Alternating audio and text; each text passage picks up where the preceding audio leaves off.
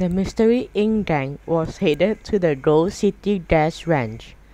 Tonight we are living the pioneer life of the Old West, said Daphne.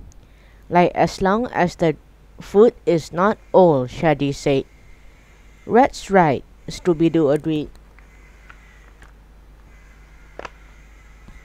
Just then a spooky bearded figure staggered out of a cave and into the road.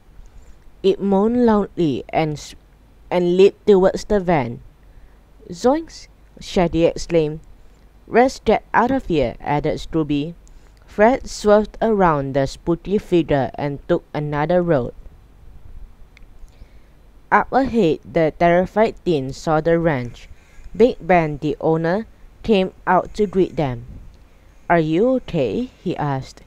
Like we may have seen a ghost, said Shaggy.